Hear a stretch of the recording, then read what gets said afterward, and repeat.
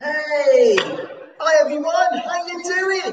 Happy Sunday! It's Mr. Higgins here on a Sunday. How's things? Hope you're uh, enjoying yourselves, hope you're enjoying your weekends. Strange times, isn't it? But as long as you're sticking together, that's the most important thing. It's coming towards the end how quick do weekends go? How quick do weekends go?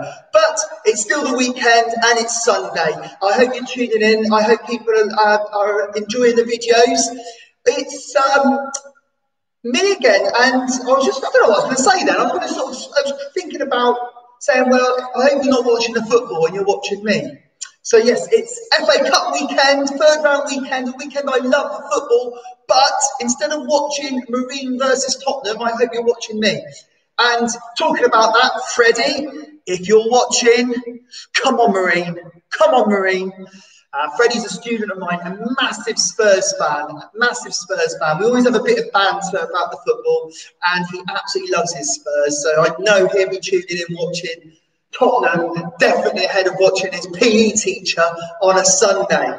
But um, yes, I'm Mr. Higgins and I'm, I work in a special school, teach PE to disabled children, and I'm really passionate about providing inclusive opportunities for PE. And I thought, well, you know, what I'll do is in lockdown, I'll do some live videos and hopefully give some inclusive ideas for uh, students that I teach, obviously, students, I hope you're well, nice to see you. And, and others, if others decide to watch, that's brilliant. So if any other people want to watch, it might be an opportunity for your grandparents to get involved. So grandparents could be watching on another stream and they could be sort of challenging their grandchildren and say, look, we've still got it. So grandparents, maybe there, could be a challenge for you. But most importantly, my students, I hope you're safe, I hope you're well, and, and it's it's all aimed at you and anyone else that wants to join in. So, we are going to go through a few little activities today just to give you some inclusive PE ideas. It might not be as long as my other videos, but that's that's fine. Also, I will work for a certain pace and work at your own pace. It might be that if you're watching this on catch up, it you might want to pause the video, practice your skills, and then unpause and then move forward. It's entirely up to you. All right, guys. So I'm just going to move my video down to there. On. I feel like Marty McFly in Back to the Future. What a film that is. So equipment you need today uh, is a bowl, a bowl to aim in, socks, I love the socks. Socks, a balloon, and only use a balloon if you don't mind them popping. Alright, so don't want people getting a bit scared, and they can scare people and make you jump. So only use a balloon if you're happy to. If not, don't bother. Just use another pair of socks or something, or a toilet bowl maybe, or something like that. And I've got a, a tray it could be a, a dinner tray, something that you can use just as a slope uh, that you, you might need for, uh, for people that need extra help in releasing a ball or something. All right, guys? And yes, so that's the equipment you need. Also, please find a safe space where you like to work. Don't be working too close to anything that's precious. If you're throwing socks, I don't want you breaking ornaments and the valuables that have been in their household for centuries. All right, so just please, please be um, think of a safe space, and only take part if you want to, if you're feeling good and you're feeling up for the challenge. All right, so what we're going to do is I'm going to work out, work through some activities, and first we're going to do, we're going to start with just a few little stretches. All right, so first of all, I would like you to get a pair of your socks and just place them in hands and just squeeze them with your fingers. All right, so just squeeze them with your fingers.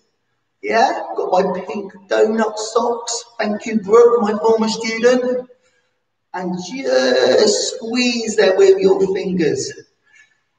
Right, yes, and you can pass them from hand to hand, or you can just work in one hand and just a nice squeeze. And it's a good sensory warm up as well. You're feeling the equipment you're using. All right, so really squeeze. You might want to pass them from hand to hand. That's absolutely fine. Yeah, just squeeze. You might use two hands, and if you are planning or at a table, it might be that you just you just roll them around on the table. Yeah, absolutely brilliant. So just finding ways to feel the socks because we're really using the socks, aren't we? So we want to feel what they're like. And the same for the balloon. Now the balloon obviously makes a bit of an annoying noise. And so you just want to move the balloon around as well. So it might be you move the balloon around on the tray, or you just move the balloon around in your hands. But again, just be careful, don't squeeze it too hard you don't want it to pop. Right? And it's just, you might roll up your arm. Yeah? Roll up your arm. Get a feel there. Right? So you absolutely get a feel for those. So there's the socks and the balloon. Okay. So what we're we going to do then? You might want to use your socks like you would dumbbells. I'm going to just hold them one in each hand and just lift them up like a chest press above your head, nice and slowly. All right? Nice and slowly. And only stretch as far as you can go. And it might be that someone needs to help you stretch. That's fine. But that person's helping, make sure that your child or whoever you're helping is making the initiating movement. You're not moving their arms for them. They are starting the movement and you're just helping them along. And it might be you only reach there. Absolutely fine. You might need to be sat back in your chair to use, the chair to support you. Or you might be able to wiggle your bums forward and then use your core to support you. That's not why I'm wearing my body warmer. I was just having my walk and I thought I need to get somewhere to film this because I'm filming on my desktop computer because I, I because you need a you need a thousand subscribers to film from your phone.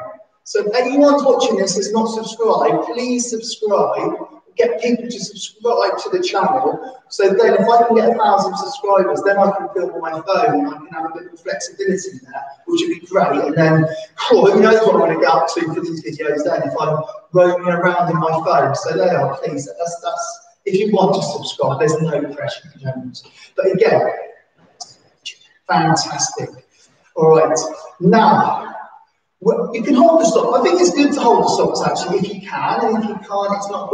I also have got here like a tea towel that I've used before, and again, you could use one of those as a substitute. I think it's good just to, I don't know, just something to focus your hands maybe. But again, if you don't, that's absolutely fine. So the next activity we're going to do, I'm going to give it the elbow. So you're just going to elbow back, nice and slow, nice and slow. Only the range of motion that you can do, the range of do, really elbow back. Fantastic. Nice and steady. So just breathe in the stretch. Absolutely brilliant. Well done. Absolutely great. Now, what we're going to do is just going to now just reach forwards. Okay? So Reach backwards, sorry. What am I about? Reach forwards, reach backwards. There you go. Mr. Higgins makes mistakes. Can you believe it? I make those mistakes. But that's good. We can, when no one's perfect, are they? So just reaching back. Oh, yeah. Feeling, working at your own.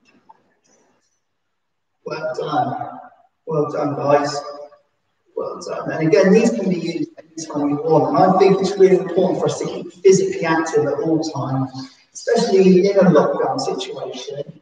And you can find opportunities to use these stretches best you can. All right? Find times in the day to move. That's what we want. All right, guys? Well done. Absolutely brilliant. Right, I'm going to do some punches. Right, just push them out in front of you. Punches. I'm not sure about that punching technique, to be fair, but I think you're like, you put, you've got put your arms up in front of your face and then just jab forward. Nice and steady. This is an exercise. We're not, I'm not teaching you to go out and have a fight, all right? So don't get that idea in your heads. It's just an exercise. Don't go starting problems with your brothers and sisters. All right, so just working at your own pace. And again, I've said, if you're, you've got a, you're working at a table, you might just push your arms through. All right, your arms through. So arms through. There you go. Oh, extreme close up. Oh, look at him on a Sunday. Oh, I want to see my teacher on a Sunday. So, and then just pushing there at your own pace. Fantastic. Great work, guys. Great work. Now, thinking about punching again, we're going to do some uppercuts. So I'm just going to do this. Pushing up, pushing up. Yeah, just lifting our arms. All right? I naturally go on my tiptoes when I do that. I don't know why. Anyone that knows why, let me know. Is it bad technique? I hope it's not. But listen to your body. Yeah, I've just made my feet flat. Yeah, good. And and have a rest. You know, just because I'm just doing that there. If it's hurting you, please rest. Right, it might be you only do one uppercut. Rest. And then two. Rest. And then three. Rest. Four. Rest. It's entirely up to you, right? Working at your own pace. All right, fantastic, fantastic. Now what we're going to do is what I like to call a power 10, where we just go a little bit faster and get into your pace. So we're going to go power 10, you're going to go a little bit faster than what you've been doing, all right? But with control. Don't, you know, nice and steady with control. So power 10, go. Nice and controlled, yeah. Power 10. That's it, that's 10 seconds. I had to look and I saw you anyway, but power 10. And again, control is a key thing here when you're stretching. Having having um, controlled movements. Don't just rush with them. because it's not going to really do you any good. So keeping a nice sort of it's like a rigid sort of posture with like flexibility. Is that, have I contradicted myself? But you know, you, you have control, but with flexibility as well. Yeah, fantastic. Well done.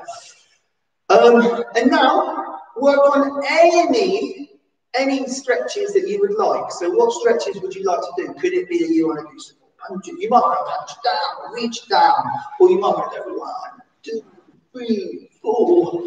Hey, look at that. One, two, three, four. Come on, baby, say you love me. Five, six, seven times. Sorry about that. I do burst into song. I'm Really sorry about that. One, two, three, four. Come on, baby, say you love me. Five, six, seven times. Woo! Anything you want, any stretches, but maybe not fall to those those drastic measures that I just done. Anyway, some good stretches there. Bring me back now. Um, so yes, nice stretches there. Um, we're going to just. I've done this the last couple of days, so we're going to do some goal celebrations as again as another way of moving. And again, it's just something fun really to get us moving. All right, something fun. So goal celebrations. I will pick out a football player or a sports star, and then you guys will copy my celebration. And the first one is USA female football legend Megan Rapinoe. And Megan Rapinoe has sort of this real sort of, I'm going to do this even up here, sort of like, way, one of those. Do you ever see my belly there? Way, one of those. So one arm out, one arm up. There we go. Striking, chest out. Giving it the attitude. Yes, giving it the big one. Can you copy? Yay, Megan Rapinoe, oh, brilliant. But that's that. Actually, I'm going to take that one out. We don't need to copy that one again. Right, two more. This one, hey! David Beckham! One of my greatest football players. He used to score goal jump. Hands in the air like that. Yes. Um, in the chair, push down, and arms up. Only as far as you can go again. Think about the warm up. So push down, arms up.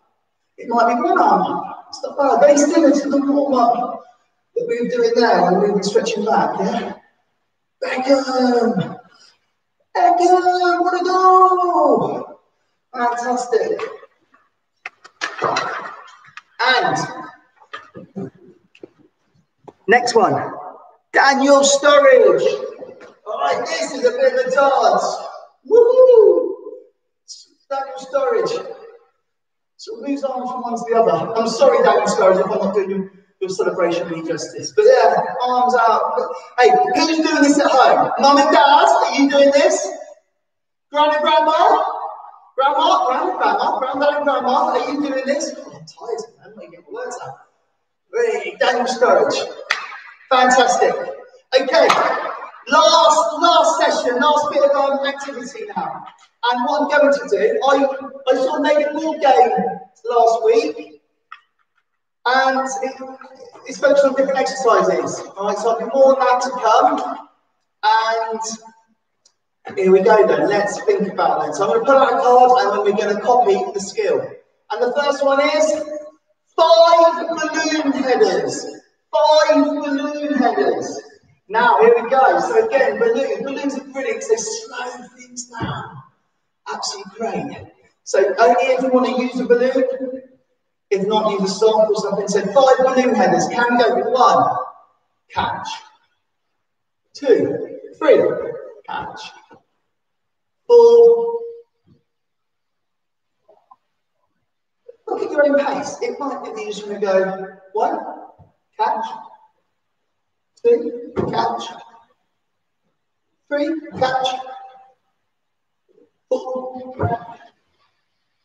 Five, catch. That's fine. It might be someone passes it to you. You pass it, imagine that's someone passing it, and you just head it down. That's all right. One. Someone pass it to you again. Two. Three. Four. Right, you want to do them consecutively. It's quite difficult actually. One, three, Five. Or, again, if headers aren't for you, you can adapt it and maybe just use your hands. Right? So you turn it into sort of like a bit of keepy up, really. But five headers, there you go. Well done, you've done that, everyone. Let's have a look, what have we got here? 30 seconds kicking or pushing a ball at a target. Now, all right, I already said we've got a ball on my equipment list. So what I'm going to do is I'm going to use a sock or my balloon. And my target is going to be my mixing bowl. So again, we're going to we can play, maybe keep the balloon and then move back a little bit. And we can just try and kick for 30 seconds in there. So ready, 30 seconds. Going to start in 10 seconds. Ready, steady, and go. So can we try that? Just kick that balloon at the target. Controlled. Controlled. We can get in the target. Nice and controlled, yeah? So you can maybe use the balloon, or you might want to keep the socks. But obviously, we've got a point there, a soft ball you can use, and it's safe. Use that as well. You might want to kick. It might be that you need, you're to do it. You're just pushing the balloon. All right, absolutely fine. Pushing it. Okay, and I think that's about 30 seconds. All right, so you push, you might push it off your tray. Okay, so there you. That, that. Going to do two more with the ball, the balloon's gone slippery, he's gone away. The next one, 30 seconds sock catches. 30 seconds sock catches. So again, another 30 second challenge, and it's involving catching the socks. So it might be that we do 30 seconds of just throwing them up in the air, like this, nice and steady, or you might pass from one hand to the other. Absolutely fine. Yeah? Or we might roll from one hand to the other on the tray. Right? You might roll from one hand to the other on the tray. There you go. Right, so 30 seconds, sock catches. Again, if you need to modify that just to suit you, that's absolutely fine. Right, 30 seconds sock catches. So again, this is something that you can do nice and steady. Right, there's that one. We're going to do one more, and then I'm going to let you go and have your Sunday dinner, if you've not already had it. Sunday lunch, whatever you call it. And this one is five balloon keepy ups. So five balloon keepy up So it could be one, two, three, four, five. He's going great, just slows down, you can judge it. Yeah, that's brilliant. So five, it might be five keepy uppings with your feet. Oh, making a mess. Oh, it's slipping, it's slipping. Slipping. So it might be one, two, three, four, five. Different parts of your body. Yeah, you might go kick it once on the floor, kick it twice, then it lands. And someone might pass you the blue. That's one, three, and four, five. So, there we have it, ladies and gentlemen, students, anyone else that's watching, thank you very much for tuning in on a Sunday. Sunday school, eh? Sunday school. We had Saturday school yesterday, got Sunday school today. I'll leave you to go back with your roast dinners and your Sunday dinners, whatever you're eating. I hope you had a fantastic weekend. Uh, my students, massive shout out to you. I miss you lots. I hope you're safe and well. You know I am. Get in touch with me if you want me to uh, give you a shout out or give you some ideas PE at home, extra PE at home. You know where I am. Uh, through the store on my email. And people that, that don't know me and that's watching, thank you for tuning in. Please, please share the work you do on hashtag challenge Mr. H.